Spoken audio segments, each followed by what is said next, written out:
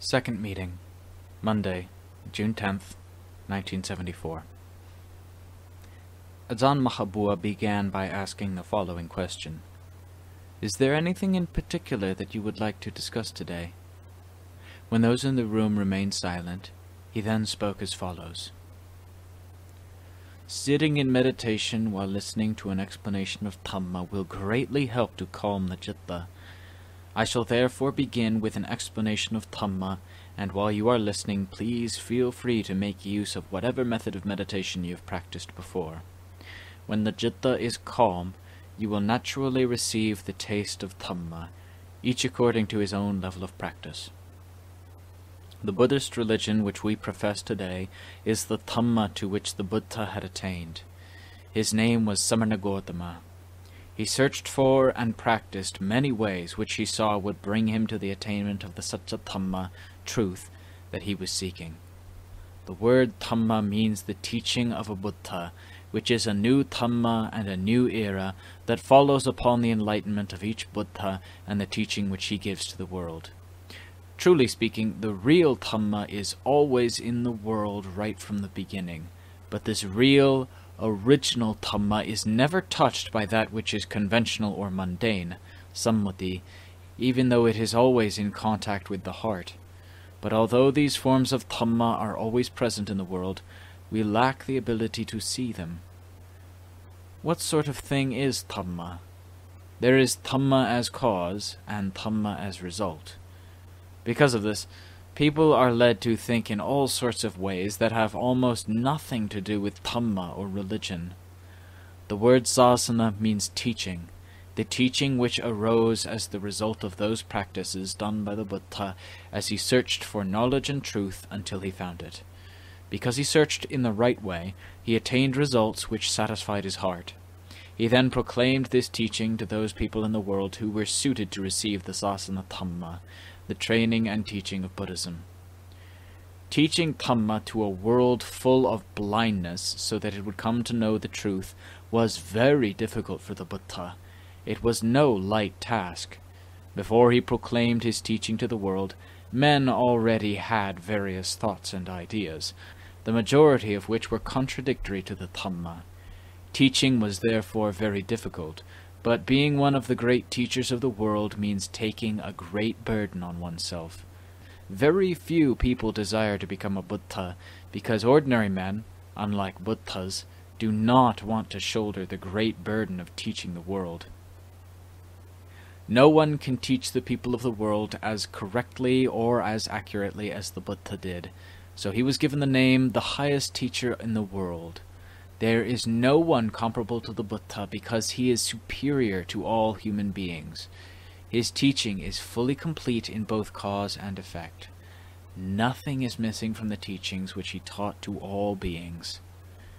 With regards to Dhamma, he explained wholesome, kusala, and unwholesome, akusala, and neither wholesome nor unwholesome, abyakata Dhamma. This Dhamma is Svakhata Dhamma, Dhamma which is well explained. The essence of this Dhamma is in the Eightfold Path, which is the middle way. If we were to compare the middle way to food, its taste would be delicious, for it would not be too salty, too tasteless, or too spicy. If we were to compare it to clothes, it would be well cut and tailored to fit the person wearing it. It would not be like inexpensive clothes which are mass produced. The teaching of Dhamma is therefore the middle way, which is appropriate in both its causes and its effects from the beginning to the end. Not only is Dhamma the middle way, but also the things that we depend on in the world. If we tried to do everything in the middle way, it would be something worth seeing, worth admiring, worth living in and making use of. Those men and women, monks and novices who practiced the Dhamma of the middle way would be lovely persons, worthy of respect. Both the world and the Dhamma would be cool and quiet, so it would be a good world to live in. There would be no complaining that the world is in trouble, or we are in trouble, or he is in trouble, as is heard at present.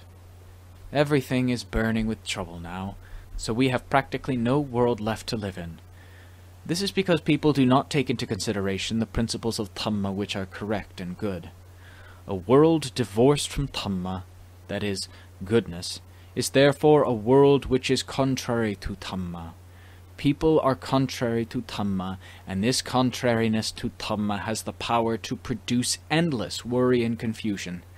As long as we refuse to see our faults and refuse to stop our opposition to Dhamma, this world will continue to experience dukkha.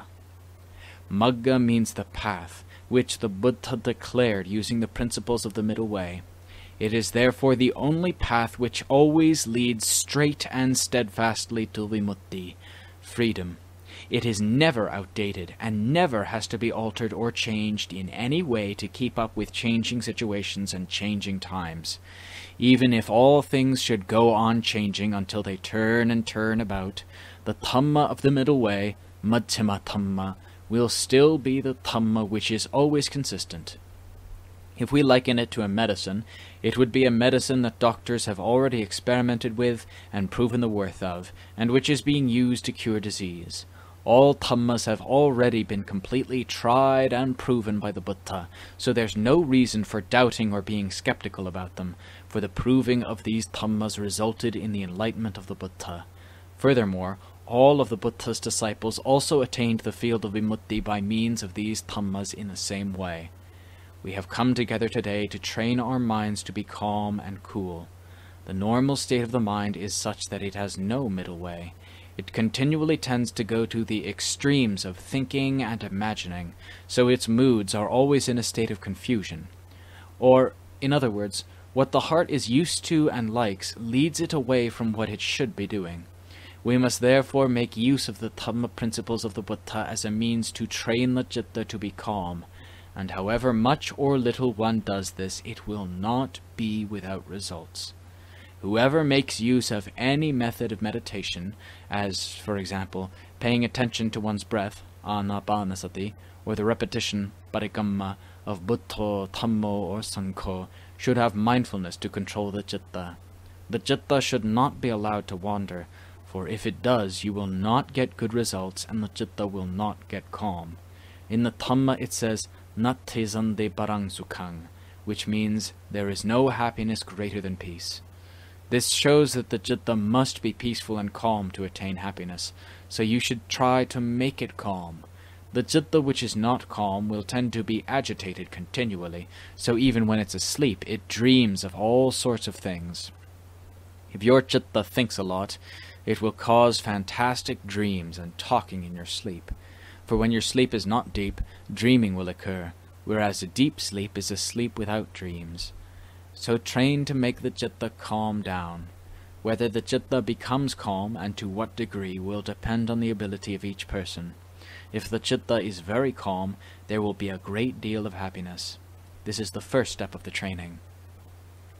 The value of the mind will then be apparent to you so that you can admire it at that time while it is peaceful, because there is nothing of greater value than a quiet mind. I would ask that you make your minds steadily overcome the difficulties and laziness which are things that usually overcome us the whole time. We believe that we cannot overcome them because we have seen their power, but if we think we are able to fight them, and if we really do fight them, then the time will arrive when we can overcome them. We hear of victories in regard to such things as sports, but with regard to kilesas, defilements, we only hear of giving in to them. Perhaps this is because we fall on our faces before the kilesas and let them walk all over our backs. The Buddha's religion shook the world because it was tested and proven by someone whose heart was pure. The enlightenment of the Buddha shook his heart. That is, it shook the kilesas in his heart, just as if the world itself were shaken.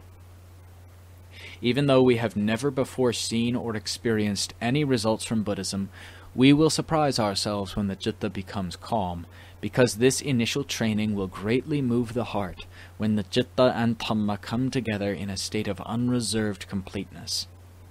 Religion, sasana, is not a trifling matter. It exists with every one of us. It is not just a thing of this person or that person, nor does it just belong to the Buddha. He taught us so that we would be good people and have worth appropriate to a human being. He taught that the virtue and value which comes from the religion is our own wealth, right up to the path, fruition, and nibbana. This lies within the reach of each Buddhist who resolves to practice. He can be one who possesses and savors the results of it endlessly. Unlike other forms of wealth that people crave, which are impermanent, anicca, unsatisfactory, dukkha, and not self, anatta, the wealth of Buddhism never runs out. Therefore, Buddhism belongs to each of us, and not only to this or that ethnic group, class, or caste. Questions and answers. First question. Man 1. What is the citta? Is it not attention? Answer. In the four iddhipada, paths of accomplishment, citta is attention.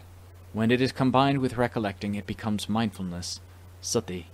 The citta likes to go wherever it pleases, and in whatever the citta does, it is not afraid of doing wrong, nor is it afraid of danger.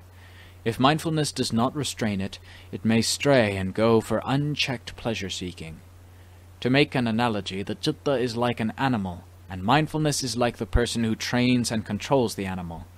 If the citta which is possessed by kilesas is trained and controlled by mindfulness, it will slowly become disciplined, and the kilesas can then be eradicated. When it is also accompanied by wisdom, panya, to investigate and extract the kilesas, the citta will become clearer and brighter.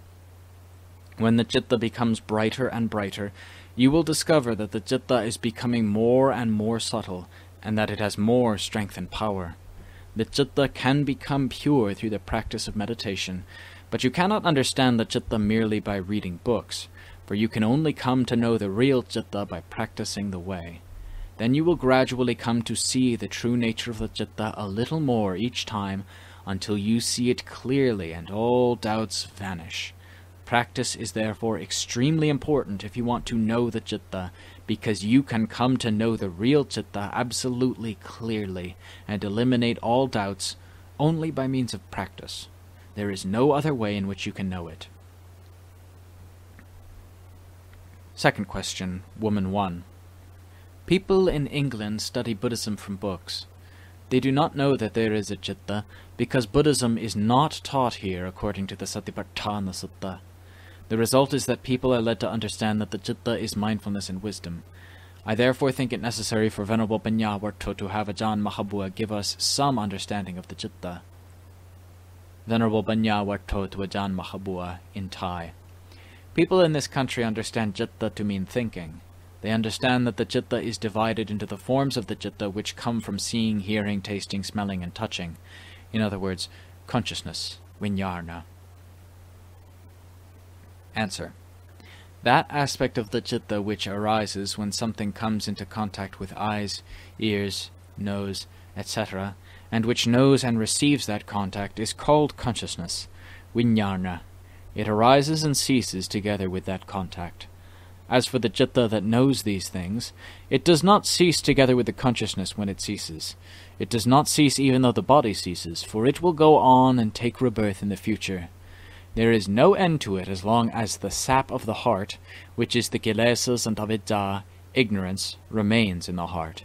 But when this sap of the kilesas has been removed from the heart, there is an end to continual becoming and birth, as happened with the Buddha and his Arahant disciples. Third question, Man 1. This one who knows, which we call ourself, is this not atta, or is it anatta, not self? Answer. If we compare the one who knows with stairs, such as the ones used to reach this room, then we will have to take hold of them as self, and let go of each step one after the other until we reach this room, which is our goal. If at the beginning we do not cling to the self, we can go widely off course because we have no basis to hold on to. We have to make use of the self as the way which will lead us to the state of not clinging to self. Therefore, at this stage, we should not go thinking about self and not self, atta and anatta.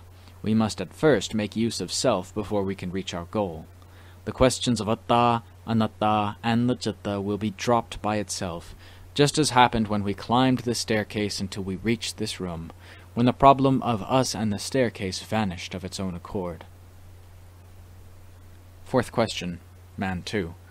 When we compare the citta to the stairs, must we let go of the citta in the same way we let go of the stairs when we reach the last step? Answer. When we have trained the citta, we gain different levels, and we let go of each level until we reach the last step. It then stops by itself, and we do not have to force it. If one is going to do this, one must reach the level of super mindfulness, mahasati, and super wisdom, mahapanya, because this is the level which is suitable for letting go of the conventional world, sammati, in all its aspects. From that point on, there is no more attachment or clinging in the citta. Fifth question. Woman 2. What are some of the benefits of meditation? Answer. You become calm. The heart is cool, peaceful, completely rational, and self-controlled. You do not do anything following your desires that is contrary to reason. You will always consider what is good and what is bad, both for yourself and for others. It makes you become a person who does not feel the dukkha of gloominess always in your heart. The heart will have a basic principle, and will not drift about aimlessly as it used to.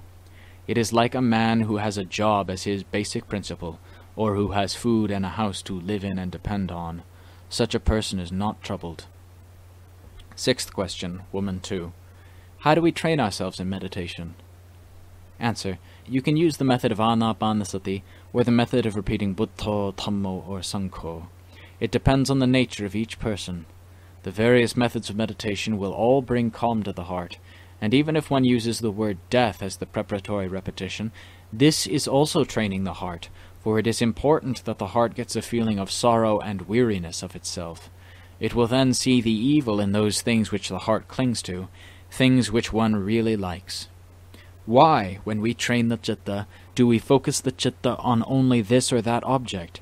In focusing the citta to be on the breath, we should know the breath as it goes in and out at the nose all the time, but this is not a breathing exercise. This is like using bait to catch a fish. What you want to catch is the fish. Or, if we make a simile to the citta of someone who has not yet been trained, his citta will be scattered in various places, like a fish net which has been cast into the water and spreads out wide until one can no longer see what it looks like. If we want to know the citta, we will have to take hold of the leader, that is, the string on the net which one uses to draw it together. When we pull on the leader, the rest of the net comes together until we can see it and hold it in our hands. The citta is where we ourselves are. We are the owners of the citta, but we cannot force it to become whatever we want it to be. We assume that form, rupa, memory, sanya, feeling, vedana, thoughts, sankhara, and consciousness, vijnana, are the citta, but in reality, these aggregates can all be separated from each other. We can begin to see this when we practice meditation. Then we will be able to promote the citta so that it improves. When we have practiced, we will gradually see that the citta is the lord of birth and death. If we make merit, practice generosity, guard our moral precepts, and practice meditation, we promote the citta so that it improves, it becomes brighter, and is raised to a higher level. But if we follow our desires and are not afraid of demerit and unwholesomeness, the citta will do whatever it likes. Not being controlled, the citta will deteriorate and meet with nothing but dukkha. When we are downhearted and don't know what to do, we let go and are then besieged by dukkha even though we are aware of the problem. It is because people do not know how to change dukkha into happiness that we experience dukkha, and dukkha is just what we don't want. The citta that has been trained until it is freed from defilements, and therefore pure, must still depend on the aggregates while they remain alive. But the duty and work of one whose citta is pure will be only for the good of the world. This pure citta is called arahant or arahat. The person who is an arahant has a citta that is entirely pure in all respects. His citta is completely free from anything that can cause it to be born again. While he is still alive, it will encounter happiness which is entirely satisfying. When he dies, it has absolute bliss, and it has no dukkha, nor any involvement with the mundane, relative world, sammati. Thus there is a saying of the Buddha which states, Nibbanang paramang sunyang, which means Nibbana is entirely empty, empty of all dukkha. But it does not mean that when one has attained Nibbana there is nothing left, as the world understands emptiness to mean. But one also does not exist in the way that the world exists. In other words, the happiness of Nibbana is happiness specific to Nibbana without any of the mundane conventions. If the Citta still wears the form of the aggregates when the defilements have been completely eradicated, it means that it has attained to freedom. Freedom, Vimutti, and the mundane world, Sammati, are very different from each other. It is difficult to compare the world of Sammati, which has mundane conventions, with what has not, which is Vimutti. Buddhism has the purpose of teaching us how to make our citta pure, so that we can experience the sublime happiness of Vimutti. Seventh question, Woman 3. Yesterday, Venerable Paññāvaddho said we must use energy in practicing meditation. Today you are talking about recollecting, which concerns the brain. I understand, then, that citta means energy and brain. Is that correct? Venerable Paññāvaddho to Ajahn Mahabua in Thai. Two or three days ago I explained that we must use energy in meditation practice. I also explained that when we are too intense the mind will be in turmoil, and that we must make a mental note of it. Answer.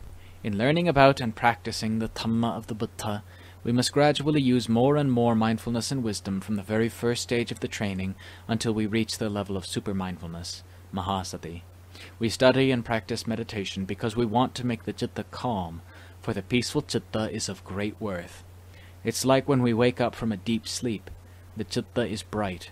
But when we do not sleep soundly, or sleep badly, and dream and talk in our sleep, then we wake up feeling dull and sleepy. In sound sleep, the citta drops into the state of bhavanga, a state that the citta reverts to when undisturbed, the place of deep sleep where dreaming does not occur. After deep sleep, the aggregates are rested and energetic, and the citta is cheerful. By entering samadhi, the citta can become completely still and quiet. The heart is then always naturally happy and strong, so that in reading, thinking, or doing other jobs, the citta will be clear and relaxed. When thinking, it will be able to see through things more clearly than usual. Therefore, Training the citta by way of either samadhi or wisdom in accordance with the principles of Buddhism is a good way to help us in our work. Contrary to what people generally understand, it does no harm to our livelihood. Those who think that it does are only nominally believers and know nothing about Buddhism. Therefore, in striving with perseverance so as to get results, we must use diligence and determination, but these must be used differently in different cases. If we want to attain calm, we must use determination to aim for a single spot. In other words, we must quell mental distractions. But if we are going to contemplate so as to know the Dhamma truths, we must use hard work and determination in observing and develop understanding in the Dhamma from various viewpoints. When we are aiming for the arising of wisdom, we must use hard work and determination in the investigation of causes and their effects in various ways. Eighth question, woman 4. If we are tired from working so that the mind is very distracted and dull, should we sleep or should we practice meditation? Answer. You should sleep, but this depends on circumstances. If it will help the citta to be calm and help you to sleep well, then you should also practice meditation. When you practice meditation until sleep comes, then the citta will be peaceful and the body can rest. So you should not stop using your usual method of practice if there is enough time to do it.